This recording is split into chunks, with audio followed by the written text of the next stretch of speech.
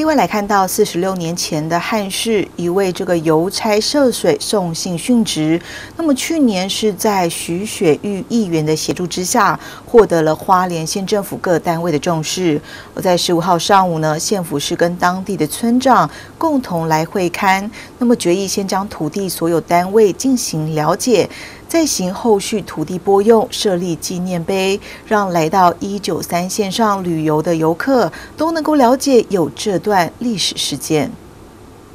为了让大家了解到是六年前的邮差涉水送信殉职汉事，在议员徐雪玉的协助之下，终于获得了花莲县政府各单位的重视。十五号上午，县政府建设处土木科、民政处、寿丰乡公所、月美米站两村的村长共同会看之后，也决议先将土地所有单位进行了解。再行后续土地拨用，设立纪念碑之用，将此历史事件告诉来到一九三线上的游客了解。今天来也是来了解这个土地。那如果土地呃这个是国产署的，那我们就请我们的民政处询问到国产署去寻求同意之后呢，那我想我们来筹措经费呢，能够把这个呃包括我们的这个石碑，包括我们的这个地方的一个告示牌，那我们一并来做一个处理。那我想，我们后面的这个观景台呢，也做得非常的漂亮。那我们也希望说，我们的用路人，还有我们自行车的这些人都能够到了这个地方呢，能够休息下来，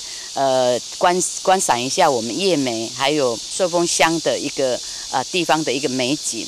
也能够让外来的观光客能够了解，我们现在要立的这个石碑呢，是因为当初呢是呃交通非常非常不便的一个同时呢，那我们的邮政的人员呢，也因为要把所有的外来的寄来的信呢，能够交由我们民众的手中，那呃把他的事迹呢，也让我们呢外来的观光客也好，我们当地的居民也能够后辈的都能够了解说，我们早期的邮政人员是非常非常的辛苦。岳美村长表示，早年交通不便，当地居民都必须涉水而过，才能够到对岸的寿丰社区购买民生必需品。在溪水暴涨时，经常发生憾事，而能够将此事件以纪念碑形态来让游客了解当地的历史发展，对月梅以及米站两村是相当好的历史典故。没有没有那个哦，我以为要有那个有有有娃娃这样子，